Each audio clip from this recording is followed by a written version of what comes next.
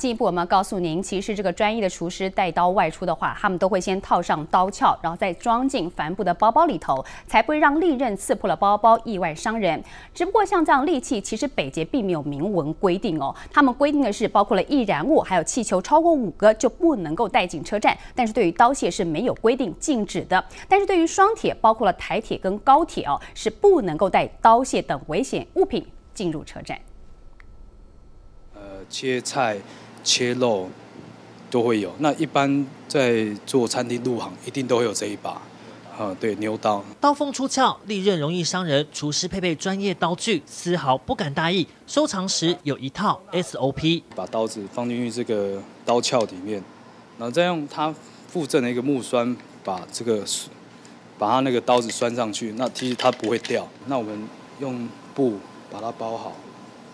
尽量固定它，不要让它乱跑。单一刀具携带外出，套上刀鞘还不够，必须再用毛巾包覆，最后绑上橡皮筋固定，或者利用报纸和封箱胶带缠绕，确定不会滑动，才能防止刀子刺穿包包。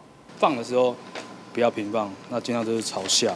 帆布护套保护仔细，避免刀子不长眼。像无姓厨师一样，虽然把刀子放在包包里，却疑似塑胶套脱落，意外伤人。乘客搭捷运背包包里头装着私人物品是隐私，却也是隐忧。其实北捷有规定，什么是违禁品不得携带。不过刀械部分在乘客须知当中却没有分类禁止。应该什么刀子都不能带吧？你觉得什么刀都不能带？对。那如果是美工刀呢？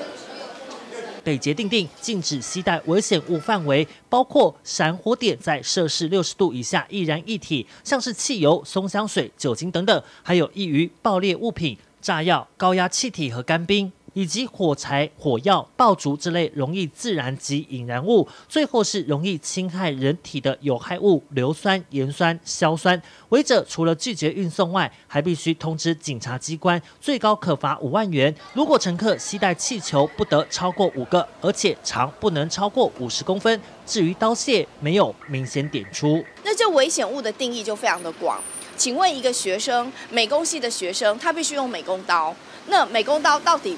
被认为是危险物，被禁止的，还是在可允许的范围？所以捷运公司应该从这个个案里头去检视它所规范的禁止携带入内的这个事项里头，哪些是不是不够明确？